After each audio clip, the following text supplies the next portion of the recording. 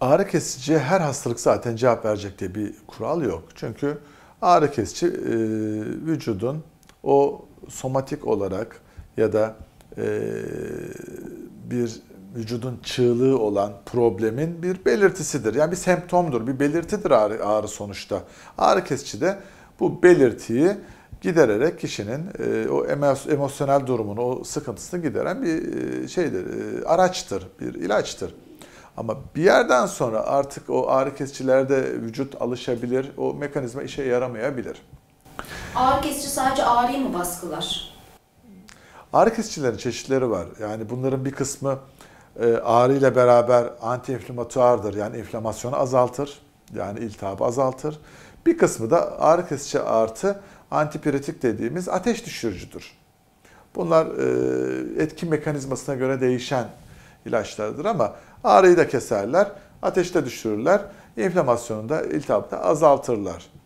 Ama bunlar e, sürekli kullanacak şeyler değildir. Çünkü e, olayın etkenine gitmek gerekir. Nedenini çözmek gerekir.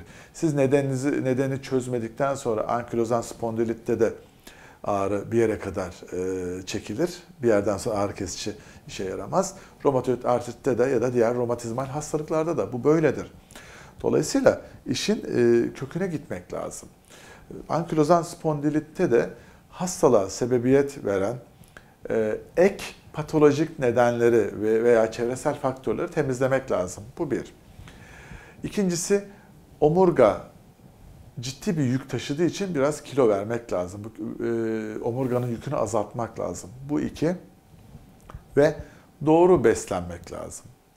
Artık beslenmeyi eskisine göre daha çok önemsiyoruz. Doğru besleyip vücudun e, ihtiyacı olan vitamin mineral dengesini ve e, ihtiyacı olan e, yağ asidi, glukoz ve amino asidi almamız lazım. Bizler kliniğimizde özellikle beslenme konusunda bir destek sağlıyoruz. Bunun yanında biyorezans metoduyla ankilozan spondiliti tedavi ediyoruz.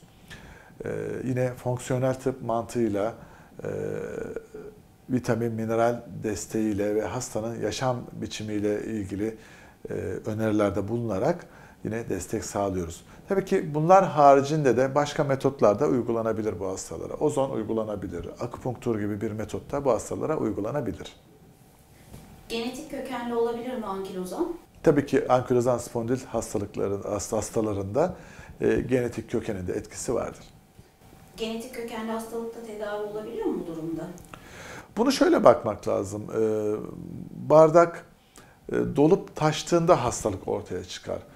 Ee, hiç yani birçok ankilozan spondilit hastası doğar doğmaz bardağı dolu değildir. Biz bu bardağı e, yavaş yavaş doldururuz. Yani bir belli bir genetik yükle doğsa bu hasta onun üzerine çevresel faktörlerle demin bahsettim ya virüs, bakteri, parazit gibi kimyasal maddeler doldura doldura bir yerden sonra bardak taştığında hastalık genelde ortaya çıkıyor.